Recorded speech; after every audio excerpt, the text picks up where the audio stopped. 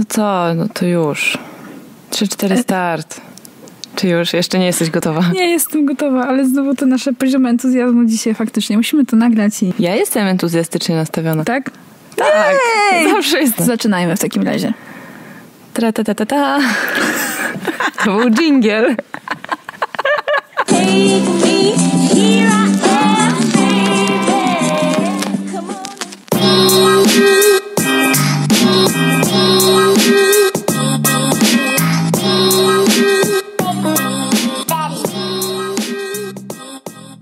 Cześć, ja jestem Zosia. Cześć, ja jestem Ula. I to jest nasz podcast. Halo dziewczyny. Słuchajcie, mamy sierpień. Mamy sierpień i jest to czas, kiedy dużo osób zaczyna szukać mieszkania na wynajem w Warszawie i nie tylko, w różnych dużych miastach. I dużo osób e, publikuje ogłoszenia o mieszkaniu, które chcą wynająć, bądź pokoju, który chcą wynająć w mieszkaniu.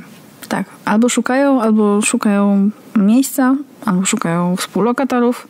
Moja koleżanka jest na przykład teraz w takiej sytuacji, że ma miejsce, ale szuka współlokatorów. Współlokatorek. Ciężka sprawa. Ciężka sprawa z wynajmowaniem mieszkania. Obecnie żadna z nas nie wynajmuje mieszkania. Nie. Obecnie nie, ale mamy to doświadczenie za sobą i mamy to doświadczenie w Warszawie. Ja również mam to doświadczenie we Wrocławiu i porozmawiamy dzisiaj o tym, jak to jest z tym wynajmowaniem mieszkań. Jakie są trudy, jakie są radości, Spoiler, głównie trudy. głównie trudy.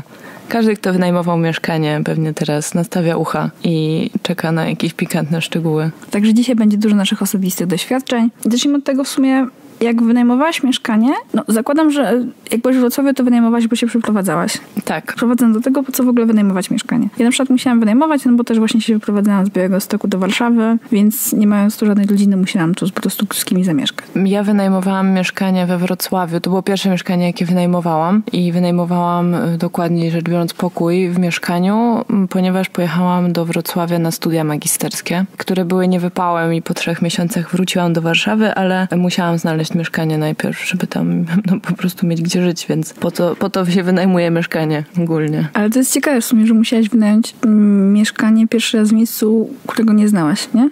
W sensie, no bo ja też znam dużo osób z Warszawy, które mieszkają w Warszawie, w Warszawie wynajmują po raz pierwszy mieszkanie, więc coś już tam powiedzmy wiedzą cokolwiek. O dzielnicach albo o komunikacji miejskiej coś. A ty musiałaś w sumie, tak jak ja też, wynająć mm, mieszkanie w miejscu, o którym miałaś ograniczoną wiedzę. Nic nie wiedziałam o Wrocławiu, nie wiedziałam, gdzie warto wynajmować mieszkania, nie wiedziałam, ile to jest drogo, ile to jest tanio za mieszkanie we Wrocławiu i jedyne, co wiedziałam, to gdzie jest moja uczelnia. To, to wszystko. Ale po kilku dniach spędzonych na Gumtree po prostu zrobiłam wydarzenie na Facebooku z informacją o tym, że szukam mieszkania, mam taki taki budżet i że chciałabym mieszkać z kimś fajnym i dzięki temu znalazłam bardzo fajnych współlokatorów, których serdecznie pozdrawiam. Ale super. Ja nigdy nie wykorzystywałam mediów społecznościowych do szukania mieszkania z dwóch powodów. Bo ich nie masz. tak, nie mam znajomych. tak, bo, bo nie mam mediów społecznościowych to raz, ale dwa też, dlatego że w sumie większość, większość tych moich wynajmów przypadała na czas dawno, dawno temu w sumie, więc to chyba też nie był te, taki jeszcze kanał do tego tak bardzo. Mhm. Tak sądzę, nie wiem w sumie. I ja zawsze się posiłkowałam do szukania Gumtree głównie, takimi stronami. Ja też się posiłkowałam Gumtree i mieszkanie, w którym pokój wynajęłam, też się ogłaszało na Gumtree, ale tego pokoju akurat na Gumtree jakoś nie znalazłam, nie trafiłam na niego. Czyli twoim kryterium wyboru przy szukaniu mieszkania była bliskość do uczelni. Nie, dlatego że we Wrocławiu wszystko jest stosunkowo blisko, przynajmniej w moim odczuciu w porównaniu do Warszawy. Mhm. Ym, oczywiście to, to, to był duży plus, ale ja raczej bardzo chciałam znaleźć ludzi, z którymi będę w stanie zamieszkać, bo marzeniem byłoby zamieszkanie samodzielnie, ale akurat przy wyjeździe do Wrocławia, ponieważ nie znałam tam nikogo, to chciałam też znaleźć po prostu osoby, z którymi będę mogła się zakolegować. I z którymi będzie mi się dobrze mieszkało, i którzy pomogą mi rozpocząć moje życie towarzyskie we Wrocławiu. Super, super kierunek. Ja miałam o tyle łatwiej, że się wyprowadzałam z moją przyjaciółką z liceum. Mhm. Więc przez pierwszy rok miałyśmy to ogarnięte, z kim mieszkamy, ale z kolei my nic nie wiedziałyśmy o Warszawie, więc właśnie się kierowałyśmy bliskością do uczelni. Znaczy szukałyśmy mieszkania, z którego będziemy mogły w miarę pieszo albo jakoś bliską komunikacją miejską się przedostać na studia. Ludzie jeszcze wynajmują mieszkania w swoim mieście, bo po prostu nie chcą już mieszkać z rodzicami. To jest bardzo naturalny krok, że prędzej czy później się wyprowadzasz od rodziców. W pełni to rozumiem. Myślę, że zrobiłabym dokładnie to samo, gdybym została w moim mieście. No i trzeci powód to oczywiście jest też związek. Chcesz zamieszkać z partnerem, to wynajmujecie razem. Chyba, że któreś z was ma mieszkanie. Ale to nie rozmawiamy o tych sytuacjach. Nie rozmawiamy w ogóle o ludziach, którzy mają mieszkanie teraz. Może później.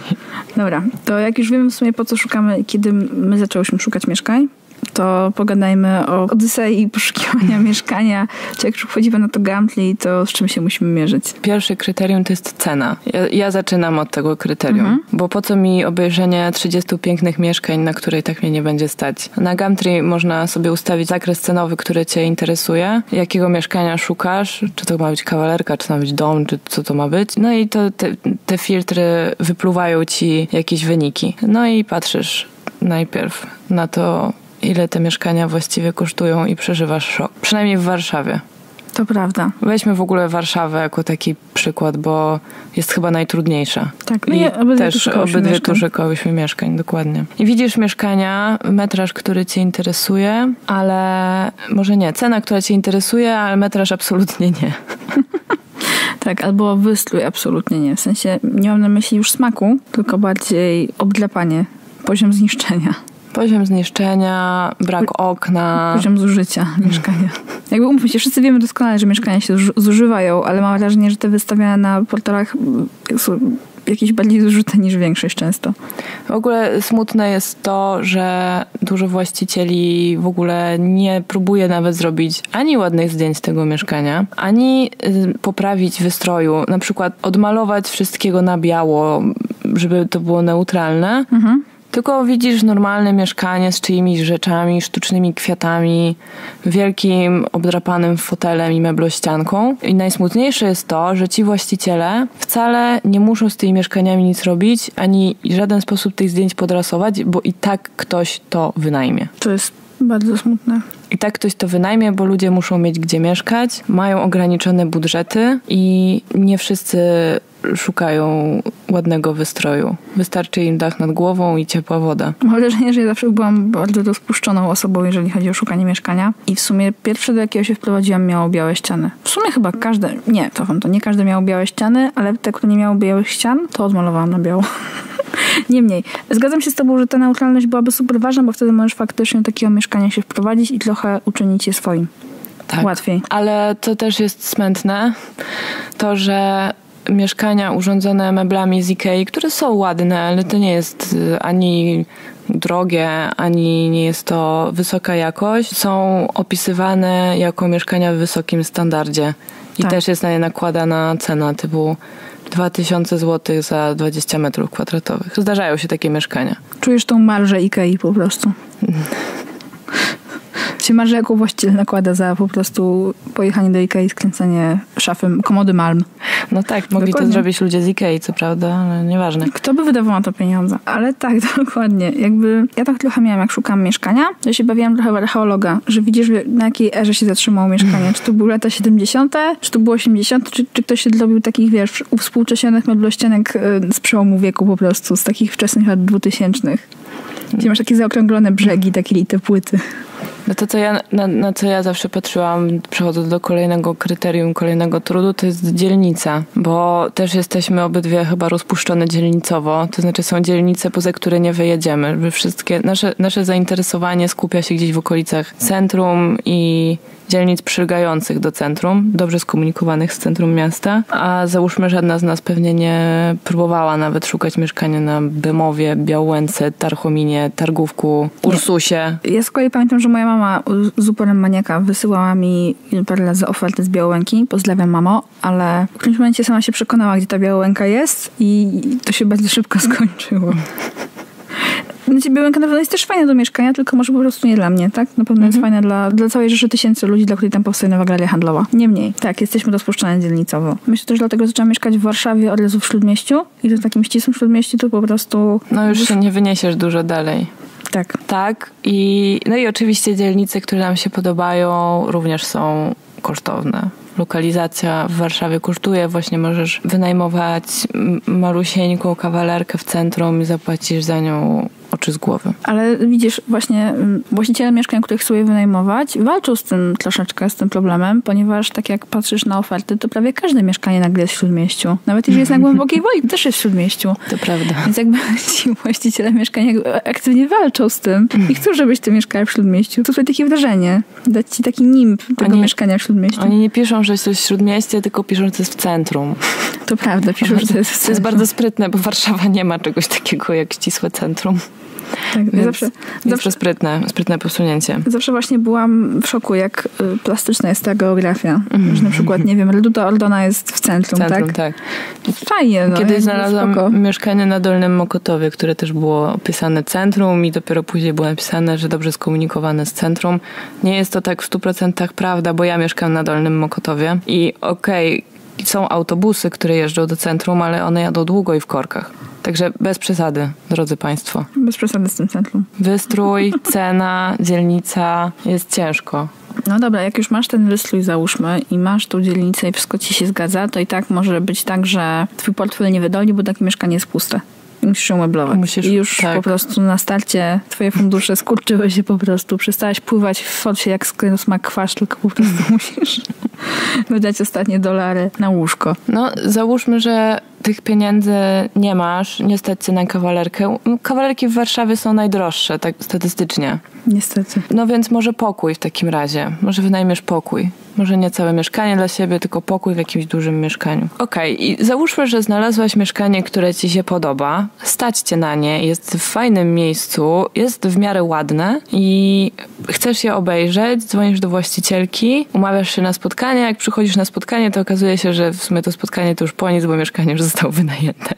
Czyli fajne mieszkania w Warszawie schodzą po prostu na pniu natychmiast. Ja jestem na Facebooku w grupie Mieszkaj Dobrze Warszawo i każde mieszkanie, które ma sensowną cenę, jest ładne, jest w fajnym miejscu, natychmiast jest po pięciu minutach od wrzucenia ogłoszenia na Facebooka jest y, dodany komentarz nieaktualny. Absolutnie natychmiast i właśnie opowiadałam to już Uli, opowiem też wam. Mam koleżankę, z którą spotkałam się na studiach we Wrocławiu i ta koleżanka, jak szukałam mieszkania, sprzedała mi kilka dobrych rad jedną z nich było, była taka rada. Chodzisz na Gumtree, widzisz mieszkanie, które ci się podoba, po zdjęciach wychodzi, że jest całkiem okej, dzwonisz do właściciela bądź właścicielki, pytasz czy aktualne, jeśli mówią, że tak, to mówisz okej, biorę. Jutro wpłacę zaliczkę.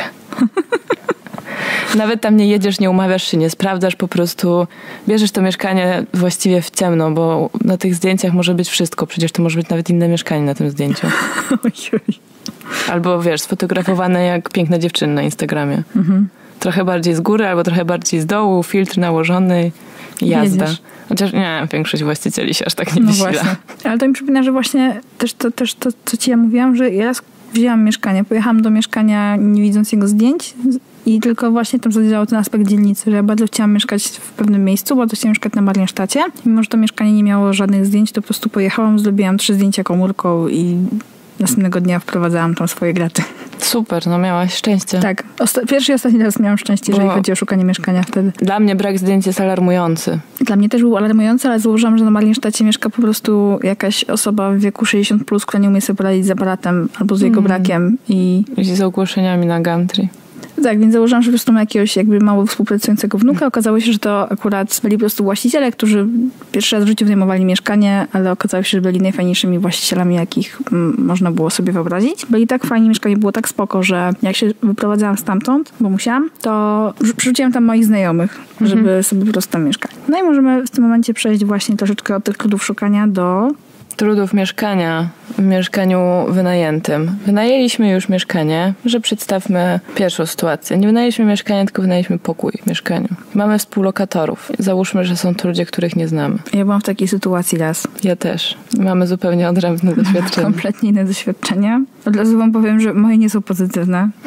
Było mi bardzo ciężko. Raz musiałam faktycznie zamieszkać z obcymi ludźmi i musiałam to zrobić miarę szybko. Miałam mało czasu, żeby znaleźć takie mieszkanie i też już szukałam wtedy w październiku, więc to też był taki Bardzo moment, gdzie... Dokładnie. Gdzie większość fajnych mieszkań już jest dawno wynajęta, a większość fajnych ludzi ma już jeszcze fajniejszych współlokatorów. Więc zamieszkałam z trzema dziewczynami, których wcześniej nigdy nie znałam. Wszystkie były ode mnie troszkę starsze wtedy, parę lat. I z perspektywy czasu ja wiem, że nie byłam najlepszym współlokatorem, ale one były też straszne. Naprawdę każda z nich miała jakieś swoje dziwactwa albo wariactwa. Każda z nich, po prostu ja wymyśliłam każdy z nich ksywę. No, opowiedz, jakie, proszę. Powiedz, jakie miały ksywy. Jakie były ksywy? Okej, z- były tam, mieszkały tam ze mną trzy dziewczyny. Imiona dwóch dziewczyn pamiętam, bo je, jedna miała ksywę Ania Farmacja, a druga Ania Prawniczka. Więc to ogarnęłam i zapamiętałam. Imienia trzeciej dziewczyny niestety nie pamiętam, ale dobrze pamiętam jej pseudonim, bo jej pseudonim, który jej nadaliśmy razem z moimi bliskimi ludźmi był po prostu To był jej pseudonim, była absolutnie straszna, była niesamowicie pasywnie agresywna. Jakby jej sposób rozwiązywania konfliktów był, nieistniejący. Po prostu y, traktowała, tak była taką trochę matką chyba tej grupy całej, która tam mieszkała wcześniej. Nie, Nawet nie wiem, którą sytuację teraz przytoczymy, bo całą masę, cała masa sytuacji mi się pojawia w głowie. Była niesamowicie kontrolująca. Pamiętam, że też była wtedy na takim etapie, że ona też wiedziała, że się będzie wyprowadzała z tego mieszkania, bo miała brać ślub w, jakby w najbliższe wakacje i pamiętam, że któregoś dnia przyjechał tam jej narzeczony, z Wrocławia zresztą. Pamiętam, że zrobiłam awanturę o to, jaką pokroił pomidory. Przemiła osoba. Była naprawdę przeurocza. I każda, jakby każda sytuacja, jaką my w tym mieszkaniu miałyśmy, po prostu zamiast ją przedyskutować, to jakby ona narzucała swoje rozwiązanie i to jeszcze w taki sposób, że na przykład, czy wydaje ci się, że robienie czegoś to jest na pewno najlepszy pomysł? Ja po prostu patrząc jej w oczy mówiłam tak. Dokładnie.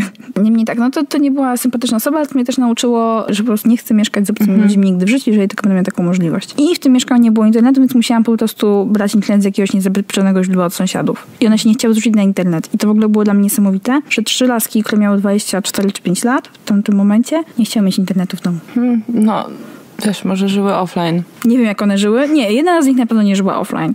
Chyba po prostu dostawała wszystkie seriale od swojego brata na jakimś dysku twardym, nie wiem, ale Ja też nie kupiłam internetu do mieszkania. Jak wynajęłam mieszkanie bez internetu, bo mam dobry internet w komórce. No dobra, to, to były czasy, kiedy miałeś dobry internet w komórce. Ja A mówię to o tak. 2010 roku, No tak, masz rację. kiedy nie było dobrych internetów w komórce. No, nie było pakietów. Mm, Tak, ja uznałam, że skoro mam taki dobry internet w komórce, to nie będę wyrzucała pieniędzy na Wi-Fi, podpisywała jakiś umów i tak dalej. Ja nie miałam takich traumatycznych sytuacji. Wynajęłam pokój w mieszkaniu we Wrocławiu z moimi już e, wspomnianymi wcześniej współlokatorami i było bardzo fajnie. Miałam duże szczęście.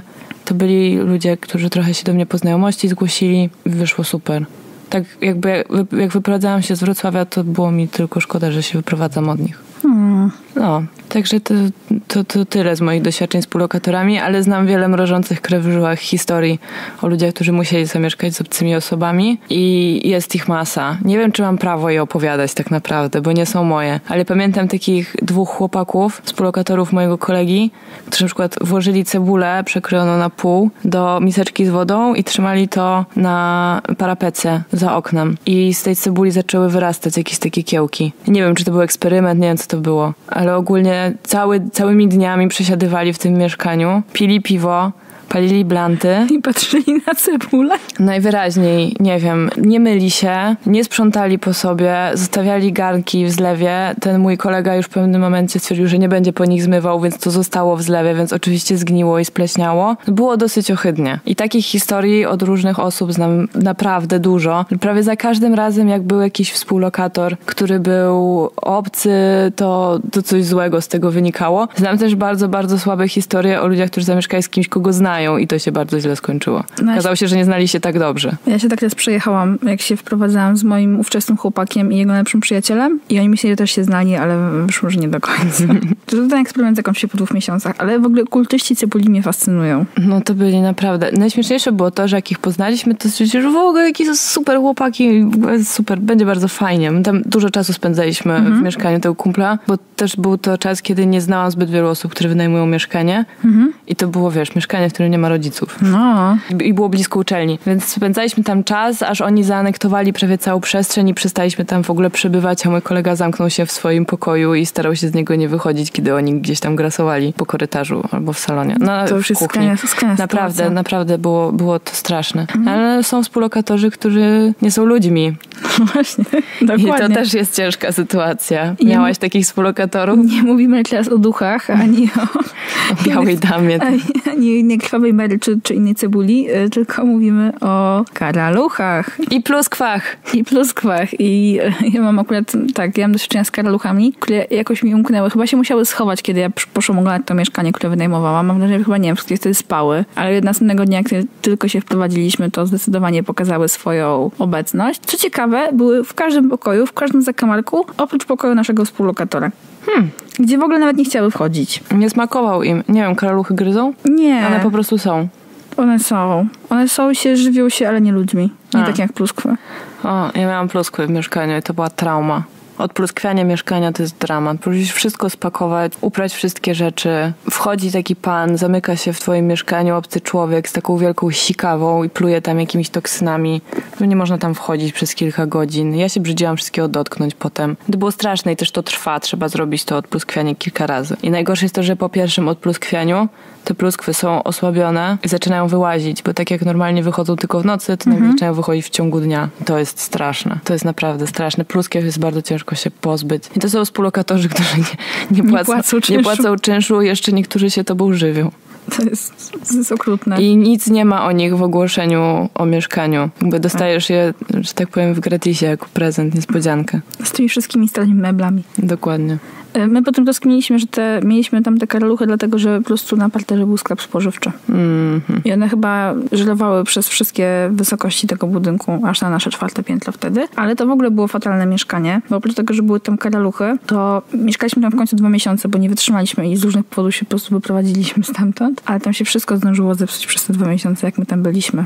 To jest właśnie taka okropna rzecz w wynajmowaniu mieszkania, bo zdarza się, że wynajmiesz fajne mieszkanie. Na przykład wynajęłam fajne mieszkanie właściwie za każdym razem. Mieszkanie mi się podobało, poza incydentem z pluskwami, który się pojawił ponad rok po tym, jak się tam wprowadziliśmy. Te wszystkie mieszkania były, były w porządku. Ale najgorsze jest to, jak wyobrażasz sobie, jak wracasz do miejsca, które ma być twoim domem i nie jest. Bo wszystko tam jest nie tak, bo właśnie coś cię gryzie, coś odpada, coś cieknie.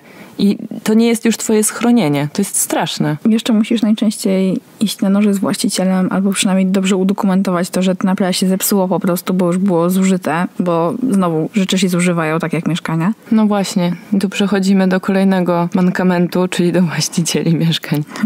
No i właśnie właściciel tego mieszkania jakby po którejś naprawie już jakby nam nie wierzył, a po prostu wysłaliśmy mu całą dokumentację zdjęciową, że z pralki nagle zaczęła ciec brązowa woda i to w hektolitrach, więc jakby naprawdę nie jesteśmy w stanie nic z tym zrobić i przecież nie zafarbowaliśmy tej wody na brązowo. Ogarnie się pan. Ale to był bardzo konkretny właściciel, no ale się wyprowadziliśmy i, i, i jakby szybko nasze drogi się rozeszły, ale potem miałam takich właścicieli mieszkania, którzy byli przekochani przecudowni i właśnie na przykład wszystkie jakieś naprawy albo jakieś takie rzeczy, jakie się pojawiały, po prostu pokrywali z własnej kieszeni i można się było z nimi dogadać po prostu. To jest myślę, że najważniejsza wartość właścicielu mieszkania, że możesz się z nim dobrze skomunikować.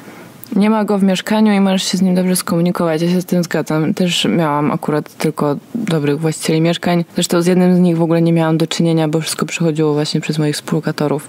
Oni się z nim umawiali, on przychodził po gotówkę, nawet nie robiliśmy mu przelewu. Przychodził raz na dwa miesiące chyba w ogóle, jakoś tak. I ja w ogóle nie miałam z nim do czynienia. A pozostali właściciele, też miałam właśnie właścicielkę mieszkania, która mieszkała za granicą, więc kontakt z nią był wyłącznie mailowy. Umowę podpisywałam z jej mamą. A ostatnia właścicielka mieszkania, które wynajmowałam, to była mama mojej przyjaciółki, więc super. I też nie miałam żadnych, w sumie nie zgłaszałam się do niej z niczym. W tym mieszkaniu wszystko było ok.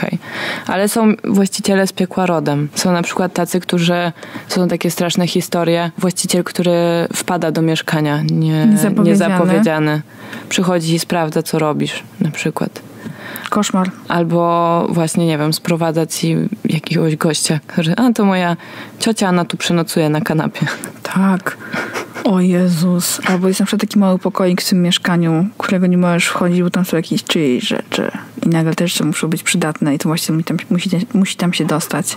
No I właściciele, którzy robią awantury przy wyprowadzce. To znaczy właśnie próbują ci odebrać kaucję właściwie nie oddać ci kaucji, udowadniając ci, że to inaczej wyglądało, jak się wprowadzała, że nie było tej rysy na ścianie, tu coś tam, tu coś tam. Więc y, to jest smutne, ale wprowadzając się gdzieś dobrze jest obejrzeć dokładnie całe mieszkanie i odebrać je z właścicielem i właśnie zrobić zdjęcie jakichś ewentualnych zniszczeń, które tam były, kiedy już się tam wprowadzałeś. Ja na przykład tego nie zrobiłam, no ale tak jak mówiłam, właścicielka mojego mieszkania mieszkała za granicą i jak się stamtąd wyprowadziłam, to tak nawet jej przy tym nie było. Tego mieszkania nie, nie odebrała. Wiem, że była w tym mieszkaniu pod moją nieobecność raz. Uprzedziła mnie o tym, że musi przyjechać i coś zrobić, tam, nie wiem, zmierzyć jakąś ścianę. Nieważne, długa historia, ale się minęłyśmy, bo ja wyszłam do pracy, ona przyszła wtedy, kiedy mnie nie było, nie zgłosiła mi żadnych uwag, więc Było spoko. wygląda na to, że wszystko było w porządku. Ale w sumie pamiętam, że chyba w tym mieszkaniu musieli zajmować się kwiatkami? To nie były jej kwiatki. To były kwiatki, które zostały po, pozostały po Okej. poprzednich lokatorach. I ja chciałam je wyrzucić, ale zrobiło mi się ich szkoda i wiesz, że jeden z tych kwiatków mam do dzisiaj zabrałam go ze sobą. Wow. I Jest piękny, znaczy roślina, no nie kwiatek. Zabrałam go ze sobą, bo było mi go szkoda. Zabrałam go na ochotę i potem wróciłam z nim na sadybę i urósł. Ja go próbowałam ususzyć, on się nie dawał i w końcu stwierdziłam, że skoro ma taką wolę przetrwania, to po prostu go zachowam. W tym mieszkaniu, które wynajmowałam właśnie w centrum od tej nieobecnej właścicielki, było dużo rzeczy, które mnie irytowały. Tam właśnie co chwilę coś odpadało, coś się psuło. Widać było, że ona tam, jej tam nie ma, więc tego ona nie dogląda. No a po prostu rzeczy się zużywają. My tylko raz na jakiś czas pytaliśmy, czy możemy coś wyrzucić. No w finalnie nie wyrzuciliśmy wersalki na przykład, bo nam się przydawało, ale ja nienawidziłam tego mebla z całego serca. Wersalka w ogóle, jakie straszne słowo. Nic nie ma wspólnego z wersalem. No jest taka, ja nie lubiłem zawsze w tych meblach tego aspektu rozkładalności. Może temu nie ufałam. Ale ja spałam przez wiele lat na wersalce i nie, jakoś ta dziura w środku, zawsze taki ten spadek, nie, nie przekonuje mnie to. No dobra, to brzmi wszystko jak koszmar. Czy są jakie, jakieś zalety wynajmowania mieszkania? Ja myślę, że jest całkiem sporo zalet, chociaż w tej kwocie, w tej cenie to są raczej bardzo drogie nauczki, które myślę, że czynią cię lepszym człowiekiem i mądrzejszym człowiekiem w ogóle, a już na pewno mądrzejszym człowiekiem, jeżeli w przyszłości będziesz e, chciał lub chciała kupić swoje mieszkanie. Mhm. Bo już wiesz, czego masz się wystrzegać i tak dalej. I na przykład to, co jest, ja na przykład doceniam bardzo w wynajmowaniu, to jest ta mobilność, że jak coś ci się na przykład zmieni w życiu, to się może wyprowadzić. I, I koniec. Nie, to też jest oczywiście upiedliwe, bo musisz, nie wiem, sprzedać załóżmy rzeczy, albo znaleźć kogoś na swoje miejsce, albo cokolwiek, ale mimo wszystko to jest mniej uciążliwe niż sprzedawanie mieszkania, albo dzielenie majątku, albo nie wiem, różne inne rzeczy, jakie ci się mogą w życiu przytrafić. No oczywiście, no taką sytuacją może być chociażby pojawienie się dziecka, tak? Czy tam kolejnego dziecka. Że mieszkanie już jest dla was za małe i możecie właściwie bez problemu je opuścić i znaleźć sobie większe, którego metraż i rozkład będzie wam bardziej odpowiadał. To, co my obydwie lubimy w wynajmowaniu mieszkań, to jest możliwość pomieszkania w różnych miejscach w Warszawie.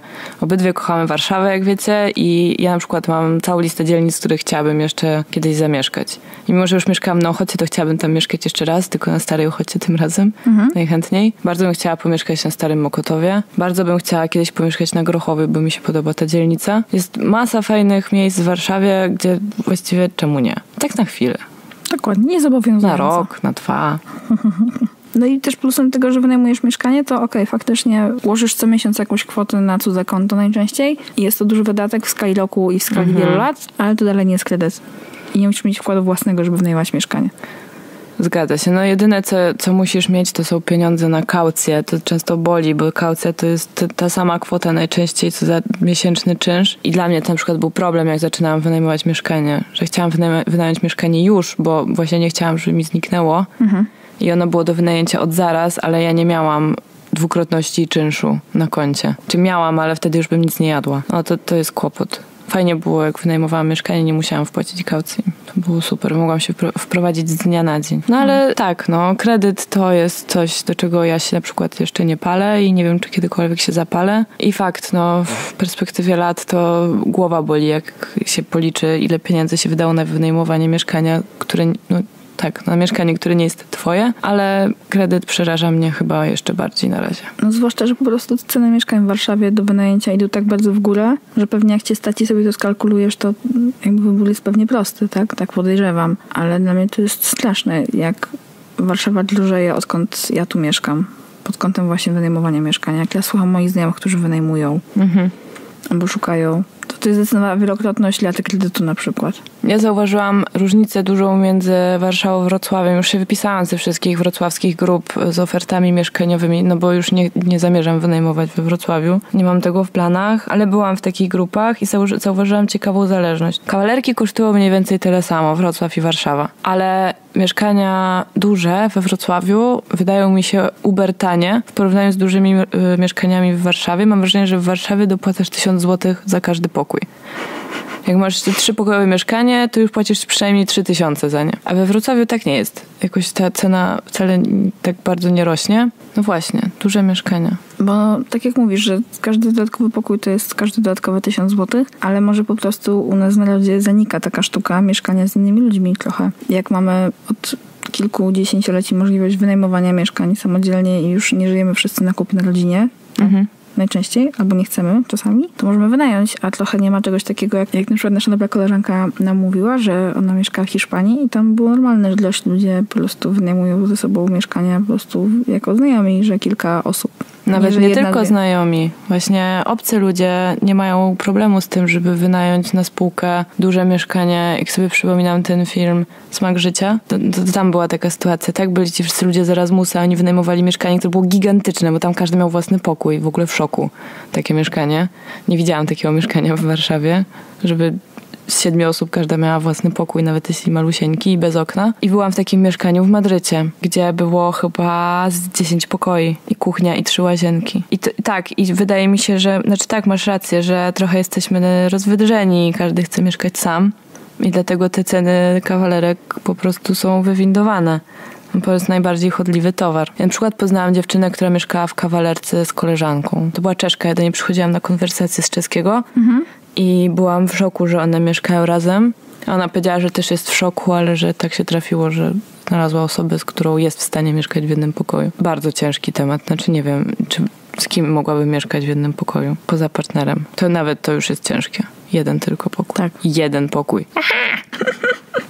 Ale jak o tym rozmawialiśmy Zuzia przed nagraniem tego odcinka, to mieliśmy taką refleksję, że ciężkie, nie ciężkie, człowiek jest ewidentnie istotą, która jest w stanie przyzwyczaić się do wszystkiego. Mhm. Po prostu. Sztuka przetrwania w mieście. No tak jak mówiłyśmy, no nie masz, nie masz wyboru, to wynajmujesz. Ludzie Dokładnie. mieszkają różnie. Mieszkają w pokoju, mieszkaniu z właścicielem, mieszkają na antresolach. To, co ja bym chciała powiedzieć na koniec, to jest odwagi. Jeżeli macie przed sobą wynajem mieszkania, uzbrójcie się w cierpliwość. Pamiętajcie, że nie jest to proste, ale można na tym wyćwiczyć spryt, refleks i no nie wiem, zawsze jest to jakieś nowe doświadczenie. Nie traćcie nadziei. Nie traćcie nadziei, tych mieszkań też jest dużo. Jest to, jest to trudne. Właśnie też mówiłam Uli wcześniej, że trochę przypomina mi to dosyć skomplikowaną grę komputerową z różnymi etapami, które musisz przejść, zdobywać punkty, pokonywać jakichś wrogów po drodze. Tylko ona się nigdy nie kończy. Nie, nie, no. To, nigdy się nie kończy. Bardzo optymistycznie. Wydaje mi się, że czasem się kończy, albo przynajmniej masz taki długi etap, kiedy nie musisz za dużo walczyć. Tylko po prostu mieszkasz i jest ci dobrze. Bo mimo, że wymieniłyśmy wszystkie negatywne strony wynajmowania i szukania mieszkania, to obydwie wynajmowałyśmy mieszkania, w których było nam dobrze, dobrze nam się tam żyło i nie żałujemy tego okresu w naszym życiu i nie wspominamy go jako pasma nieszczęść. Więc po prostu wiedzcie, z czym to się je, dacie radę. Pewnie tak już trochę wiecie. Na pewno trochę wiecie. No dobra. To jakbyście chcieli nam napisać o jakichś swoich traumatycznych historiach związanych z wynajmowaniem mieszkań, a może byliście kiedyś osobą, która z kolei była właścicielem mieszkania i wynajmowała, bo to jest perspektywa, której my na przykład nie mamy, Mhm, nie mamy tej perspektywy. To napiszcie nam na nasz adres mailowy halodziewczyny.gmail.com Lub napiszcie komentarz na Facebooku albo wiadomość do nas na Facebooku. Nasz profil nazywa się tak jak my, czyli Halo Dziewczyny. Mamy też kanał na Instagramie, na który Was zapraszamy. Możecie zobaczyć tam Ule w internecie. Ja nie wiem, czy to jest taki duży babik. Dla ludzi, którzy Cię znają na pewno. Spoko. No dobra, to co? Trzymajcie się do usłyszenia. Cześć. Pa. Cześć.